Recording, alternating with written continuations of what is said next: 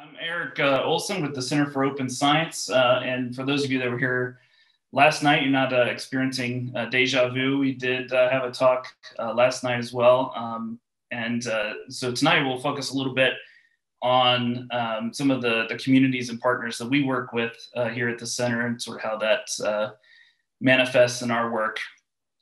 and just a, as a quick reminder, our mission here at the, the center is a a nonprofit uh, organization is to, to, increase the openness, integrity, and reproducibility of research. And there are a number of, of functions that uh, that we pursue in order to, to make our way toward this mission. One of them being uh, producing infrastructure that can enable uh, researchers to work their way toward um, the, these uh, ideal practices in integrity and, and uh, transparency. And to Alexander's point earlier, uh, I think it's interesting to look at this from this apparent tension when trying to develop a, a, a, scholarly commons where the commons needs to be flexible enough that it can respect all of these different workflows that researchers come to their their work from be it they're different by discipline or region or just personal approaches but at the same time has to be specific enough that it actually solves some kind of problem for them. Um, and in our case guides them toward some of these practices that um, we are advocating for and researching and learning about. Um, and while this there might be a tension here, we don't look at it as so much a, a barrier, but rather a creative tension that provides opportunity uh, for dialogue um, that can help us bring these these two uh, these two worlds together. And, and for us, on the infrastructure side where that that manifests uh, is with the OSF and uh, the OSF's you know, the concept here is that we can provide resources and tools for each uh, section of, or each part of the research life cycle um, so that uh, a researcher can go all the way from planning and, and, registering their work like we talked about last night all the way through um, you know, publishing and making their work uh, discoverable within this this workflow platform. Um, but something like this doesn't just sort of come out of the the ether, um, but rather uh, with these three broad uh, groups that um, are, are, intersecting and echoes a number of the groups we've uh, heard from this week. Um, but uh, in our case, we've got integrators, we've got members and supporters, and then research data contributors and consumers and where the needs and opportunities for these groups you know collide where they all squish together in this space in the middle is where we see real opportunities for uh, technical infrastructure to start closing some of those gaps um, between the, the challenges and opportunities that these three groups might share. Um, but uh, to Stephen's point earlier, the technical infrastructure is, is pointless if you don't have a social infrastructure to accompany that. The technical infrastructure grows out of the, that communication and coordination among, in this case, these three broad uh, stakeholders and representatives within each of them. Um,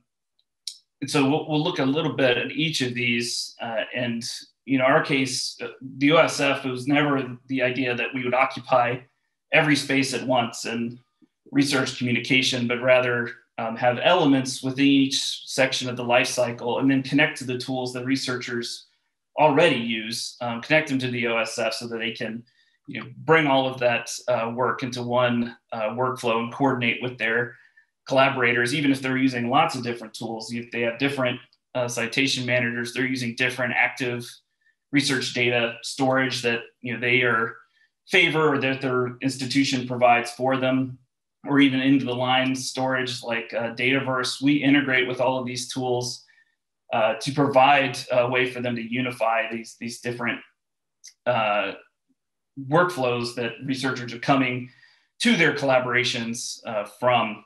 And most of these we build and maintain ourselves. And we're also members of uh, and Crossref and DOIs with both groups. Um, and in addition to the the integrations within the, the OSF itself. We also maintain an open API, so groups in different areas of, of research communication also will build a connection you know, to their tools from the OSF. Um, a good example being one, a friend of, of JROST and protocols.io, they just released their uh, OSF uh, integration a few weeks ago um, so that the, you can move your, your protocols and other documents uh, to and from uh, the OSF from protocols and uh, in the JROST spirit. Uh, we'll work with them next month to do some collaborative events and show off some new features there. I just looking at the, the push and pull of contributors and consumers, data contributors uh, on OSF. Um, the registrations, because the, the, practice we're really, one of the practice we're really trying to drive researchers to that we looked at last night. Uh, we had almost 17,000 uh, already in 2020, 17,000 new registrations, uh, 18,000 preprints, uh, 4 million unique visitors, uh, almost 2 million uh, public files shared through the OSF, and 23 million files downloaded um, from the OSF itself. And then we have um, supporters that come from, from lots of different directions, including grants and funders, but also members of our some services that we run within the center and in the on the OSF. Um, and one of these uh, OSF institutions, uh, I think, uh, is interesting. And institutions is a, a tool, suite of tools that um, aggregate and affiliates the research that an institution's researchers are already doing on the OSF, uh, but captures all of that data to provide some insight uh, for administrators and some attribution for uh, those researchers. for all the work that they're doing on the OSF. But what is really interesting, um, what's developing here with this community that uh, we're working with with multiple universities all over the world, mostly universities right now, as a microcosm of our whole approach. Um, so we have the, the institutions as you know, members of, uh, of this service, and they provide support to uh, the center and our mission and the OSF itself so that we can continue to, to build these features. Um, their community is made up of research data contributors and consumers, and they support uh, the OSF because their their researchers value and use the tool. Uh, and then also integrations. One of the services that we can provide for institutional members is like those other their tools we've already integrated. We will integrate with a tool that they would see value in connecting to the OSF for their uh, researchers, be that local storage, uh, institutional repositories, or other tools uh, that their researchers would uh, gain some real uh, opportunities from.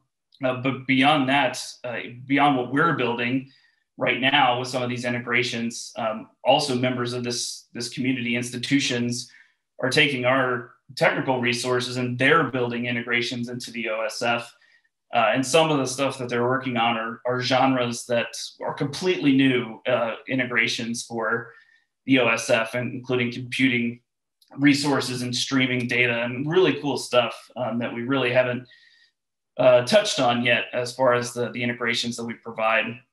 And that's all coming from just initiative uh, and energy from this community with you know so support and coordination um, from you from here centrally at the center, but also among one another. Uh, these institutions are, are really driving us forward. And the idea being that in a few years, we'll have lots of, of integrations that uh, researchers will be able to take advantage of. So anywhere that they have their, their work happening, if it's appropriate, um, they could connect it to the OSF and coordinate uh, with their collaborators from um, all over the world, no matter which other tools they're using, they can all connect them to the OSF so they could share and, and uh, collaborate together. Um, so I'm always, always want to hear uh, from new folks and things that you're building and see if there are opportunities that we might be able to, to partner on something like these integrations or, or grants or community uh, social projects uh, are great for me too. They don't have to be